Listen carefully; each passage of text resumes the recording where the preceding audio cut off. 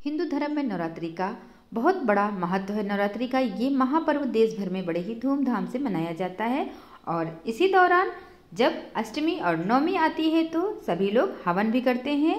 हवन को कब करना है, कैसे करना है, हवन की विधि क्या है, आज हम आपको पूरा बताएँगे। आप सभी लोग वीडियो पर बने रहिएगा, बिल्कुल वीडियो को स्किप मत करिएगा दोस्तों। वीडियो पसंद आए तो लाइक करिएगा, शेयर करिएगा और चैनल को भी सब्सक्राइब कर लीजिएगा दोस्तों। ऐसी भी मान्यता है कि हवन के बिना नवरात्रि की पूजा पूरी नहीं होती तो हवन की सही विधि और हवन का सही टाइम जानना आपके लिए बहुत ज़रूरी है। तो नवरात्रि में सबसे पहले जब आप हवन करना स्टार्ट करेंगे तो उससे पहले आपको हवन कुंड, आम की लकड़ी, चावल, जौ, कलावा, शक्कर, गाय का घी, पान का पत्ता, काला तिल, सूखा नारियल, लौंग, इलायची, कपूर, बतासा ये सारी चीज़ें आपको एकत्रित कर लेनी है, ये सारी हवन सामग्री हैं और आपको हवन करने का टाइम भी निश्चित करना होगा। सही मुहूर्त पे ही आप हवन करें। ज़्यादातर नवरात्रि का हवन दुर्गा अष्टमी और महानवमी के दिन किया जाता है। इस साल दुर्गा अष्टमी 22 अक्टूबर रविवार को है और महानवमी 23 अक्टूबर सोमवार को है। आप अपनी सुविधा के अनुसार दुर्गा अष्टमी को या महानवमी के दिन हवन कर सकते हैं।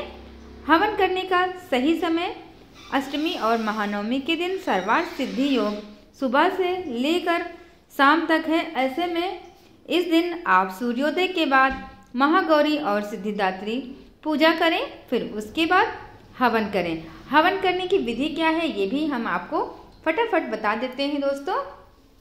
हवन करने के लिए सबसे पहले हवन कुंड को गंगा जल से शुद्ध कर लें। हवन कुंड के चारों तरफ़ कलावा बाँध दें।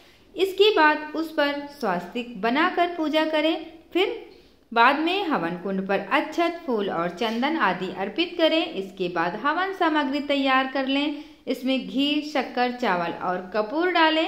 फिर हवन कुंड में पूरब, पश्चिम, उत्तर और दक्षिण दिशा की ओर चार आम की लकड़ी रख दें।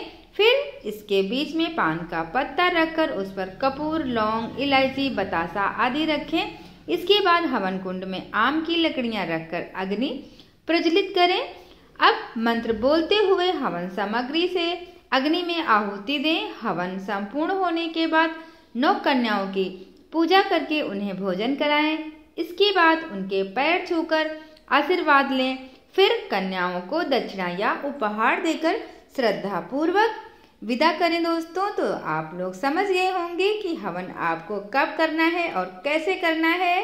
वीडियो कैसी लगी मुझे कमेंट करके ज़रूर बताइएगा। हम फिर मिलेंगे नेक्स्ट वीडियो में।